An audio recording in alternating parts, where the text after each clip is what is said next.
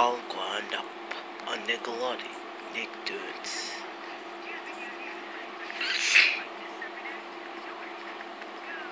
Das Blatt. Let's be good? Bye.